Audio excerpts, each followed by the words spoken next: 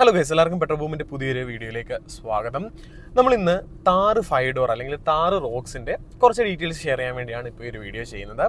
താറ് five door അല്ലെങ്കിൽ Thar Roxx August പതിനഞ്ചിന് launch confirm ചെയ്തിട്ടുണ്ട്. നമുക്ക് ഓൾറെഡി കുറേ സ്പൈ ഷോട്ടുകളും വണ്ടിയുടെ കുറേ ഡീറ്റെയിൽസ് അത്തരത്തിൽ വന്നിട്ടുണ്ടായിരുന്നു. ഇപ്പോൾ ലാസ്റ്റ് ആയിട്ട് മഹീന്ദ്ര തന്നെ ഒഫീഷ്യലി താറ് റോക്സിന്റെ രണ്ട് ടീസറും പുറത്തിറക്കിയിട്ടുണ്ടായിരുന്നു. അപ്പോൾ ഇതിൽ നിന്നൊക്കെ നമുക്ക് താറ് ഫൈഡോറിനെ പറ്റിയുള്ളൊരു ക്ലിയർ ഇമേജ് അല്ലെങ്കിൽ ഒരു ക്ലിയർ പിക്ചർ കിട്ടിയിട്ടുണ്ട്. അതായത് എങ്ങനെയായിരിക്കും വാഹനം വരുന്നത്? ഫൈവ് ഡോറും ത്രീ ഡോറും വെച്ച് കമ്പയർ ചെയ്യുമ്പോൾ ഫൈവ് ഡോറിൽ വരുന്ന ചേഞ്ചസ് എന്തൊക്കെയാണ്? ത്രീ ഡോറിൽ നിന്ന് ഫൈവ് ഡോറിലോട്ട് വന്നപ്പോൾ എന്തൊക്കെ പ്രധാനമായിട്ടുള്ള മാറ്റങ്ങളാണ് ഫീച്ചേഴ്സിൽ വന്നത്? സ്പെക് വൈസ് എന്തൊക്കെ മാറ്റങ്ങൾ വന്നു? അതുപോലെ പുതിയതായിട്ട് ആഡ് ഓൺസ് എന്തൊക്കെ വന്നു എന്നുള്ളത് ഇപ്പോൾ നമുക്കൊരു ക്ലിയർ പിക്ചർ കിട്ടിയിട്ടുണ്ട്. അപ്പോൾ അതൊക്കെ ഒന്ന് സമ്മറൈസ് ചെയ്തിട്ട് ഈ പറയുന്ന താറ് ഫൈവ് ഡോറിൽ നമുക്ക് എക്സ്പെക്ട് ചെയ്യാൻ പറ്റുന്ന കാര്യങ്ങളെ പറ്റിയാണ് നമ്മൾ ഈ വീഡിയോ ഡിസ്കസ് ചെയ്യുന്നത്. നമ്മളാരും വണ്ടി ഇതുവരെ നേരിട്ട് കണ്ടിട്ടില്ല. അതുപോലെ തന്നെ മീഡിയ ഡ്രൈവ് ഒക്കെ എനിക്ക് തോന്നുന്നു. പതിനാലിനും പതിനഞ്ചിനും പതിനാറ് ആ സമയത്തൊക്കെയാണെന്ന് തോന്നുന്നു. എന്തായാലും നമുക്ക് ഡ്രൈവും കാര്യങ്ങളൊന്നും ഇല്ല പിന്നെ ഷോറൂമിൽ വണ്ടി വന്ന് കഴിഞ്ഞാൽ നമുക്ക് ഷോറൂമിൽ നിന്ന് എപ്പോൾ വണ്ടി കിട്ടും? അല്ലെങ്കിൽ ഷോറൂമിൽ നിന്ന് വണ്ടി കിട്ടുമോ എന്നുള്ള യാതൊരു പ്രതീക്ഷയില്ല. അപ്പോൾ നമ്മുടെ കൂട്ടത്തിൽ ആരെങ്കിലും ഒരാൾ വണ്ടി എടുത്ത് കഴിയുമ്പോഴായിരിക്കും മിക്കവാറും നമ്മളൊരു റിവ്യൂ വണ്ടിയെ പറ്റി വരുന്നത്. ഡെഫിനറ്റ്ലി വണ്ടി എപ്പോൾ കിട്ടി കഴിഞ്ഞാൽ നമ്മൾ അപ്പം തന്നെ വീഡിയോ ചെയ്യുന്നതായിരിക്കും. അതുപോലെ three door versus five door കമ്പാരിസണും എല്ലാം നമുക്ക് ചെയ്യാം. അതൊന്നും പ്രശ്നമില്ല. അപ്പം വണ്ടി ആദ്യം അവൈലബിൾ ആവട്ടെ. ഇപ്പോൾ നമുക്ക് കിട്ടിയ ഡീറ്റെയിൽസ് ഒക്കെ വെച്ച് വണ്ടിയിൽ വരാൻ പോകുന്ന മാറ്റങ്ങൾ എന്തൊക്കെയാണെന്നുള്ള ആദ്യം തന്നെ പറയാം.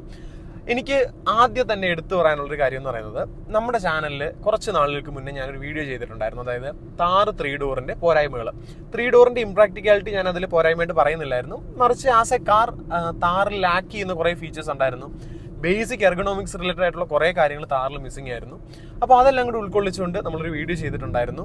അപ്പോൾ എനിക്ക് ഫീൽ ചെയ്ത അതേ കാര്യങ്ങൾ പലർക്കും ഫീൽ ചെയ്തിട്ടുണ്ട് എന്നുള്ളത് നമ്മുടെ വീഡിയോയുടെ കമന്റ് സെക്ഷൻ കണ്ടപ്പോൾ എനിക്ക് മനസ്സിലായി. സോ അന്ന് ആ വീഡിയോയിൽ പറഞ്ഞ തൊണ്ണൂറ് ശതമാനം കാര്യങ്ങളും അല്ലെങ്കിൽ ത്രീ ഡോറിന്റെ പോരായ്മയായിട്ട് നമ്മൾ പറഞ്ഞ അല്ലെങ്കിൽ ഇമ്പ്രൂവ്മെന്റ് വേണമെന്ന് പറഞ്ഞാൽ തൊണ്ണൂറ് ശതമാനം കാര്യങ്ങളും താറ് ഫൈവ് ഡോറിൽ ഇമ്പ്രൂവ് ആയിട്ടുണ്ട് അല്ലെങ്കിൽ ആ പ്രശ്നങ്ങൾ പരിഹരിച്ചിട്ടുണ്ട് എന്നുള്ളതാണ് ഇതുവരെ നമുക്ക് കിട്ടിയ ഡീറ്റെയിൽസ് വെച്ചിട്ട് പറയാൻ പറ്റുന്നത്. താറ് ത്രീ ഡോറിന്റെ പ്രധാന ഇഷ്യൂ വെച്ച് തന്നെ നമുക്ക് വീഡിയോ സ്റ്റാർട്ട് ചെയ്യാം. താറിന്റെ ഏറ്റവും വലിയ പ്രശ്നം എന്ന് പറയുന്നത് റൈഡ് ക്വാളിറ്റി ആയിരുന്നു. അത് ഇപ്പം നല്ല റോഡ്സിലൂടെ ആണെങ്കിലും ബാഡ് റോഡ്സിലൂടെ ആണെങ്കിലും താറ് കുറച്ച് എന്താ ഒരു ഹംബി റൈഡ് ഓഫർ ചെയ്യുന്ന ഒരു വാഹനമായിരുന്നു. സോ ഈ ഒരു റൈറ്റ് ക്വാളിറ്റിയുടെ ഇഷ്യൂ ഒരു നല്ലൊരു പരിധി വരെ മിക്കവാറും നമ്മുടെ പുതിയ ഫൈവ് ഡോറിൽ പരിഹരിക്കുമെന്നാണ് വിശ്വസിക്കുന്നത്. കാരണം മറ്റൊന്നുമല്ല Thar five door Thar three ഡോറിന്റെ പ്ലാറ്റ്ഫോമിലല്ല വരുന്നത്. സ്കോർപ്പിയോ ബേസ് ചെയ്തിട്ട് അല്ലെങ്കിൽ സ്കോർപ്പിയോയുടെ പ്ലാറ്റ്ഫോമിലാണ് ഈ പറയുന്ന താറ് ഫൈവ് ഡോർ വരുന്നത്. സ്കോർപ്പിയോ അത്യാവശ്യം നല്ല കംഫർട്ടബിലിറ്റി ഉള്ള ഒരു വാഹനമാണ്. സോ റൈഡ് ക്വാളിറ്റിയുടെ കാര്യത്തിൽ അത്യാവശ്യം നല്ലൊരു ഇമ്പ്രൂവ്മെന്റ് നമുക്ക് എക്സ്പെക്ട് ചെയ്യാം. പിന്നെ എഞ്ചിൻ സൈഡിലോട്ട് വരുമ്പോൾ നേരത്തെ ഉള്ളതുപോലെ തന്നെ ഒരു two point two litre M hawk diesel എഞ്ചിനും ഒരു two litre M stallion petrol turbo charger petrol എഞ്ചിനും ആയിരിക്കും നമുക്ക് വരുന്നത്. മിക്കവാറും ആ ഒരു റിയർ വീൽ ഡ്രൈവിന്റെ കൂടെ ഉണ്ടായിരുന്ന വൺ പോയിന്റ് ഫൈവ് ഡീസൽ കിട്ടാനുള്ള സാധ്യതയില്ല. കാര്യം ഫൈവ് ഡോർ ഓൾറെഡി ഒരു ഹെവി വെഹിക്കിൾ ആണ്. അപ്പോൾ അതിൽ ഈ പറയുന്ന വൺ പോയിന്റ് ഫൈവ് എടുത്ത് വെച്ച് കഴിഞ്ഞാൽ വളരെ അണ്ടർ പവർഡ് ആയിട്ട് ഫീൽ ചെയ്യും. സോ റിയർ വീൽ ഡ്രൈവ് കോമ്പിനേഷന്റെ കൂടെ പോലും ഇനി തൊട്ട് ആ ഒരു two point two litre M hawk diesel engine കൊടുക്കാനുള്ള ചാൻസ് കാണുന്നുണ്ട്. പിന്നെ വാഹനം സ്റ്റാൻഡേർഡ് ആയിട്ട് രണ്ട് ഡ്രൈവ് കോൺഫിഗറേഷനിൽ അതായത് ഫോർ വീൽ ഡ്രൈവിലും ടു വീൽ ഡ്രൈവ് അല്ലെങ്കിൽ റിയർ വീൽ ഡ്രൈവ് കോമ്പിനേഷനിലും നമുക്കിനി താർ അവൈലബിൾ ആയിരിക്കും എന്നാണ് അറിയാൻ സാധിക്കുന്നത്.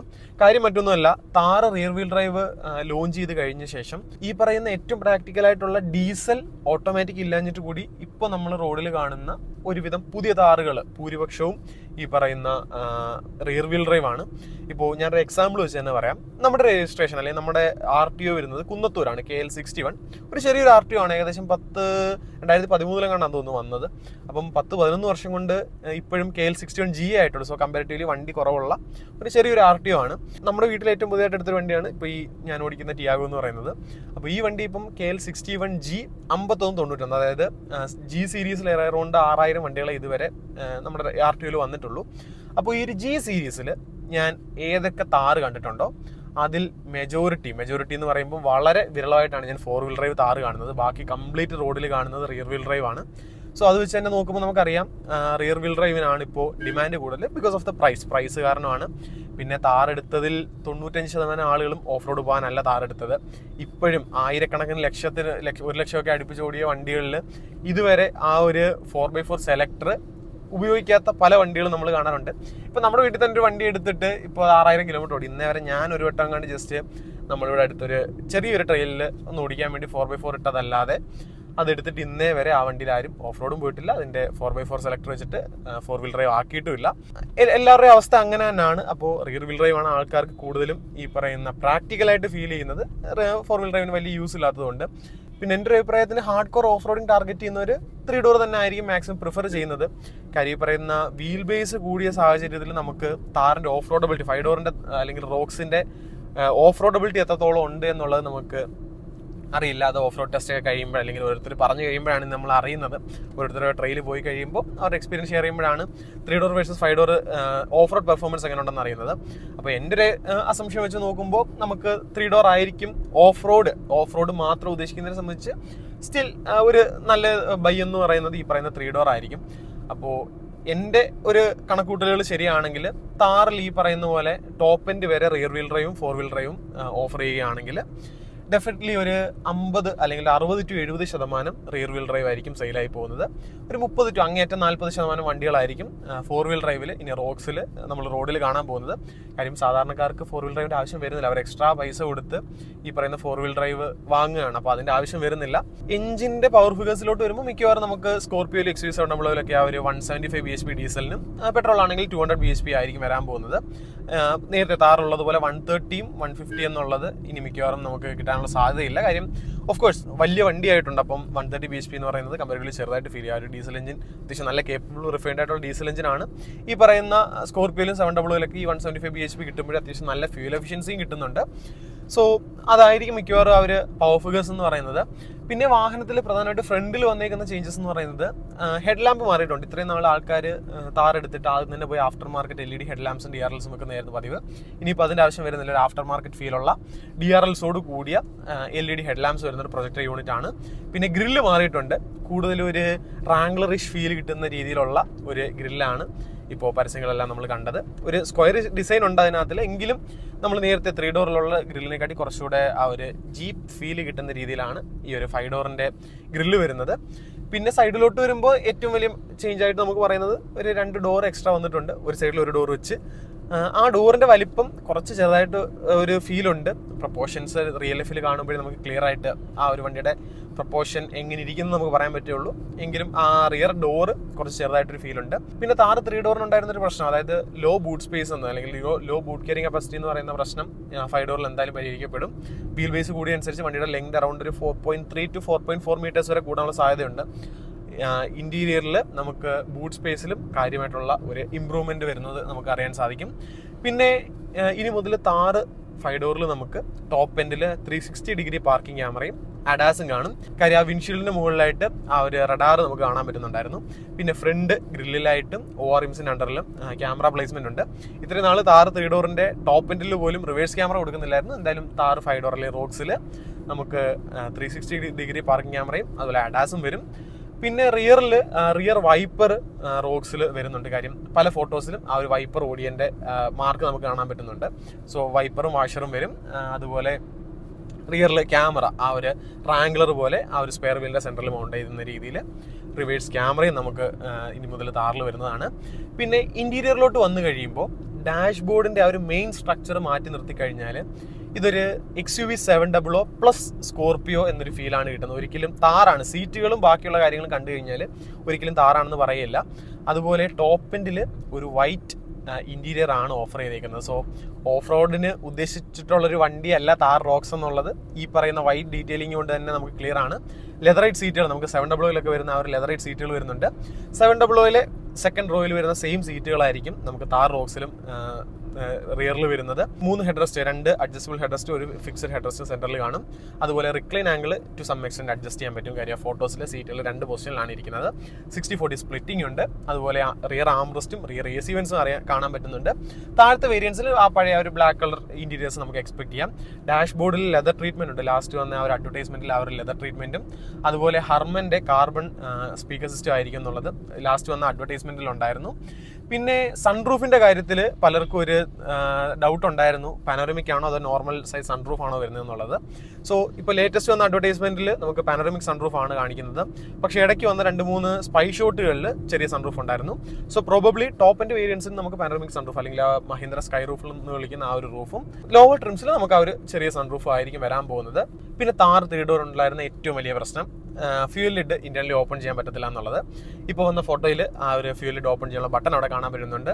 അതുപോലെ തന്നെ പുഷ് ബട്ടൺ അല്ലെങ്കിൽ പുഷ് സ്റ്റാർട്ട് സ്റ്റോപ്പ് ബട്ടൺ ഇനി മുതൽ താറിൽ വരുന്നുണ്ട് ഫൈവ് ഡോറിൽ വരുന്നുണ്ട്. അതുപോലെ താറ് ത്രീ ഡോറിന്റെ മറ്റൊരു പോരായ്മയായിരുന്നു വലിയൊരു ബസ്സൽ അല്ലെങ്കിൽ വലിയൊരു ഡാഷ്ബോർഡിൽ ഒരു കൊച്ചൊരു ഇൻഫർടൈൻമെന്റ് സിസ്റ്റം എന്ന് പറയുന്നത്.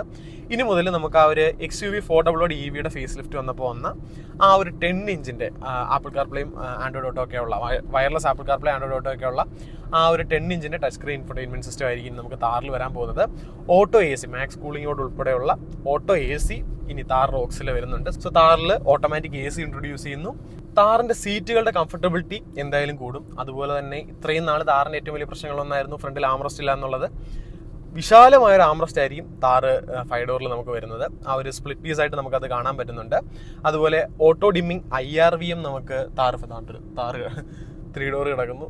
അപ്പം അതിലും ആഫ്റ്റർ മാർക്കറ്റ് ഹെഡ് ലാംസ് ആയിരുന്നു വെച്ചിട്ടുണ്ട്. ആ ഒരു മൈനസ് ഷേപ്പ് വരുന്നത് അപ്പോൾ അതിനെക്കാട്ടി മനോഹരമായിട്ടുള്ളൊരു ഹെഡ് ആണ് നമുക്ക് ഫൈവ് ഡോറിൽ വരുന്നത്. എർഗണോമിക്സ് വൈസ് നല്ല മാറ്റങ്ങളായിരിക്കും വാഹനത്തിൽ വരാൻ പോകുന്നത്. സീറ്റുകൾ കുറച്ചുകൂടെ കംഫർട്ടബിൾ ആയിരിക്കും. പിന്നെ റൈഡ് ഈ പറഞ്ഞ പോലെ ഇമ്പ്രൂവ്മെന്റിനുള്ള സാധ്യത കാണുന്നുണ്ട്. അപ്പോൾ ഇത്രയൊക്കെയാണ് നമുക്ക് പ്രധാനമായിട്ട് കിട്ടിയ ഡീറ്റെയിൽസ് നമുക്ക് കിട്ടിയ ഇൻഫർമേഷൻസ് ഇനി അഡീഷണൽ എന്തെങ്കിലുമൊക്കെ നിങ്ങൾ കണ്ടെത്തിയിട്ടുണ്ടെങ്കിൽ അതൊന്ന് പറയാം. ഇപ്പോൾ ഞാൻ മനസ്സിൽ ആലോചിച്ച് വെച്ചിരുന്ന കാര്യങ്ങളെല്ലാം കൂടെ സമപ്പ് ചെയ്തിട്ടാണ് ഇപ്പോൾ ഈ ഒരു കാര്യങ്ങളെല്ലാം പറഞ്ഞത്. എന്തായാലും വണ്ടി കയ്യിൽ കിട്ടി ഓരോ വേരിയൻസ് കണ്ടതിന് ശേഷം മാത്രമേ നമുക്ക് ക്ലിയർ ആയിട്ട് പറയാൻ പറ്റുള്ളൂ എന്തൊക്കെയാണ് വാഹനത്തിൽ വരാൻ പോകുന്ന മാറ്റങ്ങളെന്ന്.